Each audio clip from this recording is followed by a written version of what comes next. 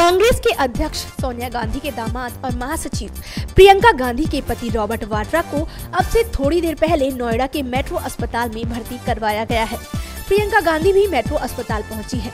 जानकारी मिली है कि senior orthopaedic surgeon Robert Vadra का उपचार कर रही है।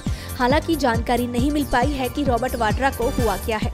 रॉबर्ट वाड्रा को सोमवार की देर शाम नोएडा के मेट्रो अस्पताल में भर्ती करवाया गया है, जिसके बाद अस्पताल के आसपास सुरक्षा व्यवस्था कड़ी कर दी गई है कांग्रेस की महासचिव प्रियंका गांधी नोएडा के मेट्रो अस्पताल पहुँची हैं। सूचना मिलने के बाद कांग्रेस के कुछ स्थानीय नेता और दिल्ली के नेता भी अस्पताल पहुँच रहे हैं रॉबर्ट वाड्रा को क्या हुआ है, इस बारे में अभी अस्पताल प्रशासन की ओर से कोई जानकारी नहीं दी गई है बस इतनी जानकारी मिली है कि senior orthopaedic surgeon Robert Vadra का उपचार कर रही हैं।